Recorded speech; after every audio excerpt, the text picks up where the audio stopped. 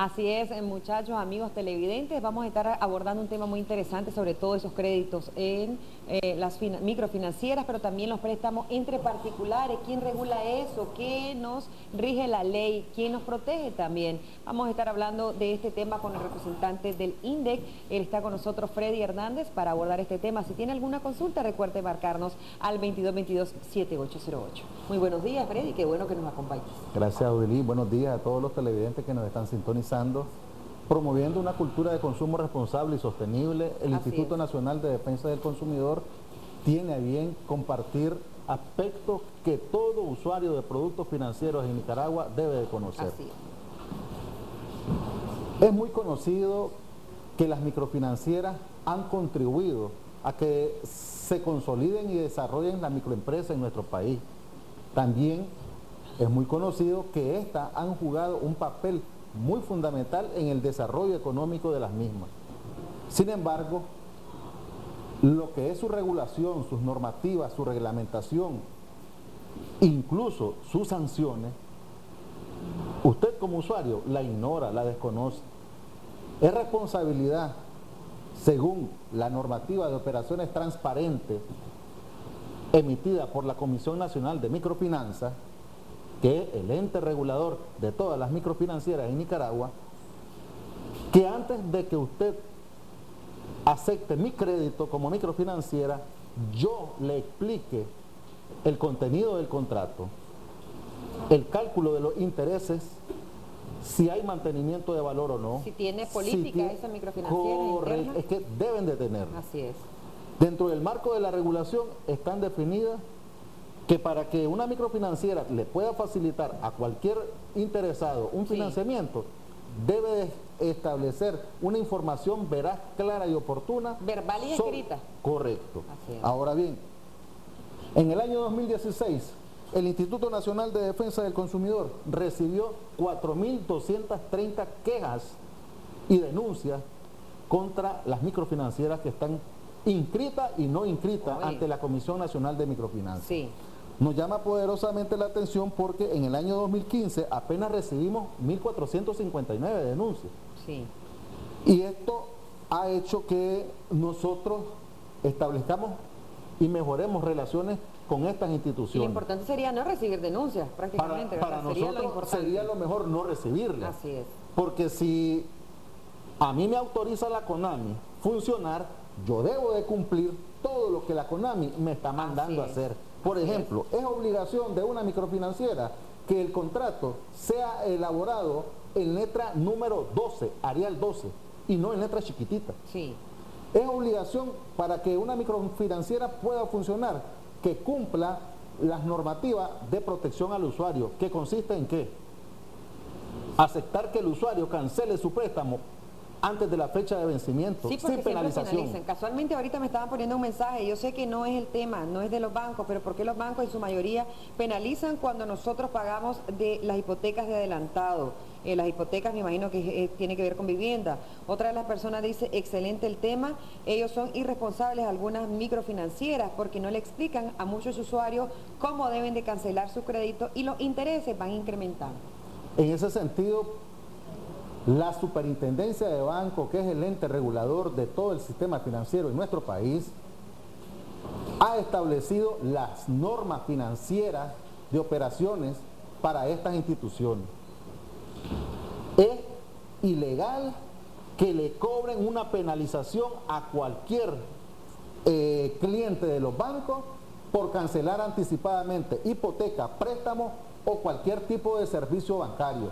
es, ilegal. Usted tiene que hacer el reclamo formal ante la institución financiera. Si ésta persiste en el cobro de la penalización, acudir ante el ente regulador, que es la superintendencia de bancos, para que esto revierta en esa situación. Tanto los bancos como las microfinancieras eh, siempre te ponen, y hay una política interna, y por eso te decía que se le debe dar a conocer al cliente, a la persona que va a hacer el préstamo, te dice que no podés cancelar esa deuda antes del tiempo estipulado, porque cada una tiene las cotizaciones y ellos eh, bajarían el ingreso que van a tener con el pago de los intereses. jurídico legal existente en nuestro país en la temática de consumidores y usuarios establece que no hay penalización por cancelar anticipadamente cualquier deuda con el sistema financiero o la microfinanciera. ¿En cuánto tiempo da respuesta la Intendencia? Porque eh, hay dos vías, ya sea por escrito, a través del INDEC, también se puede hacer con ustedes y en la página web de la, de la superintendencia. Sin embargo, algunas personas refieren acá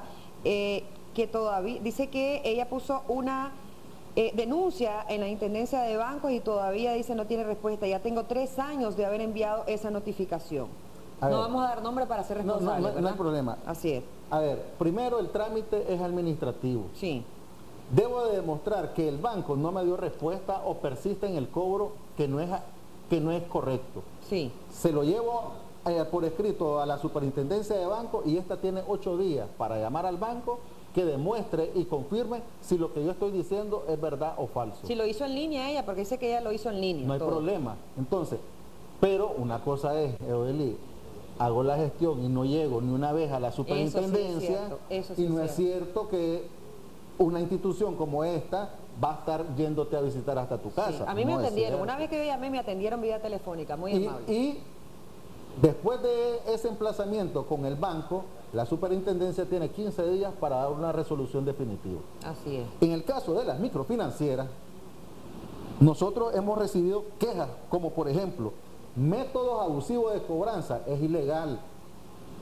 No es posible que si yo soy microfinanciera y usted me debe a mí, porque se atrasó la cuota de ayer, venga al canal y me parquee en la entrada Odilí. No me pagaste la cuota, vengo por la cuota, págame la cuota y tal vez vos estás en una eventualidad de emergencia. Pero los bancos lo hacen es prohibido. Desde un día que te retrasas empiezan con mensajes vía telefónica. una cosa es eh, estarte recordando que se te atrasó la cuota y otra cosa es que yo me venga a presentar a tu trabajo de una manera intempestiva, abusiva. E Incluso te llaman a tu casa, a tu centro de trabajo y con el que te atienda a esa persona le comunican. Y eso sucede. Es ilegal. Estoy resumiendo los mensajes. Entonces, usted, usuario de productos financieros, sea de banco o de microfinanciera, cuando eso suceda por teléfono que llamaron a mi referencia, que no es el fiador. Otra, una cosa es referencia, otra cosa es fiador. Por ejemplo, algunas microfinancieras le dicen a Odelit, deme el nombre de tres referencias personales. Así es. Vos lo haces de una manera transparente y de buena fe. Así es. Pero te tardaste un día, llaman a tu referencia, dígale a Odelit que no vino a dejar la cuota. Eso es ilegal. Excelente. Eso es eso no es permitido. Y aquí... Vamos a recibir una llamadita para que ya nos aclares esto. Buenos días, adelante, le escuchamos. Gracias, muy buenas. Gracias por esperarnos, bienvenidos. Una preguntita le tengo para la Intendencia de Bancos. El Banpro, ¿por qué es que pide un depósito fijo a los nuevos clientes? Digamos, con cuentas de débito, que les dice mil de depósito, que son inamovibles. Entonces, bueno, muchísimas gracias, señor, que nos marcó. Le recordamos que Freddy Hernández, el que está con nosotros en este instante, es del INDEC, no de la Superintendencia de Banco. La Intendencia de Banco, recuerde ustedes que tiene su línea directa, también su web y tiene su dirección si usted tiene algún tipo de consulta. Sin embargo, podemos responderle al amigo televidente. Dentro de las normativas aprobadas por la CIBOID para el funcionamiento de los bancos, si yo abro una cuenta de ahorro, las políticas bancarias establecen un saldo mínimo. Sí. Si yo no tengo ese saldo mínimo, ahí pago penalización. Por eso es que establecen un saldo mínimo de apertura y de estabilidad para que se mantenga abierta la cuenta. En unos casos son de Y si no hay movimiento en, la cuenta, perdés también ese, saldo mínimo que tenés. si no hay movimiento en la cuenta. Es muy importante esto. Es necesario que sepan los televidentes que en la Comisión Nacional de Microfinanza están inscritas 36 microfinancieras y en Nicaragua existen más de 200 microfinancieras. Excelente. Sepa que las microfinancieras inscritas en la CONAMI no quiere decir que van a hacer lo que les da la gana o que van a aplicar la ley de una manera discrecional, como a una lo hacen. Así es. Vamos a hablar ya con términos eh, ya directamente eh, legales para que las personas tomen nota y sepan cómo defender sus derechos. Adelante, otra llamadita. Buenos días. Aló, buenos días. Bienvenida, gracias por esperarnos. Adelante. Sí, este, quería felicitarlos por el programa, Fernando. Eh, yo quería hacer una consulta. Fíjese de que yo adquirí un crédito para pagar en 40 días, mi abono diario. Y ahí, pero si yo me atraso una cuota, ellos me están cobrando mora diario. Me cobran 6 córdobas, 9 pesos, 11 pesos me parece diario. Y ahí, aunque yo la cancele la cuota, ustedes que este pico de mora, siempre lo estoy pagando mora tras mora. Y si el muchacho no viene un día a cobrar, viene hasta el día aunque yo le dé las dos cuotas, siempre me van cobrando mora. ¿Eso es legal? Bueno, déjenos sus datos completos, su número de teléfono, porque también le van a dar orientación a nuestros amigos del INDE. Es, legal cobrar de mora en mora, y eso es cierto, porque hay un banco eh, X que a mí me cobró en lo personal, lo digo, ¿verdad?, con, con justa razón, por un día. En la fecha caía en domingo, yo fui el día lunes a pagar y ya estaba desfasado el día, y entonces me cobraron 10 dólares por un día de retraso. Cuando recibimos un financiamiento, es obligación de cualquier institución financiera que nos expliquen interés corriente, interés moratorio, comisión de desembolso, tasa efectiva anual, tasa variable, si mi interés va a cambiar durante el transcurso de la vida del crédito. Esa información verá clara y oportuna. Es obligatoria que la den cualquiera de estas instituciones porque lo establece la ley 842 y la normativa sobre operaciones de transparencia financiera. ¿En cuanto al pago de mora? Con respecto a, la mora, a partir del primer día cae en mora, cobran mora. Sí. Por eso es necesario que cuando nosotros eh, nos den el contrato, lo leamos también, sí, sí. Pero algún contrato no te estipula qué cantidad te van a cobrar por cuando día de eso no está, sí. tenés todo el respaldo legal para hacer tu formal reclamo ante la microfinanciera, como sucedió eh, en algunas que ya han sido multadas por la CONAMI.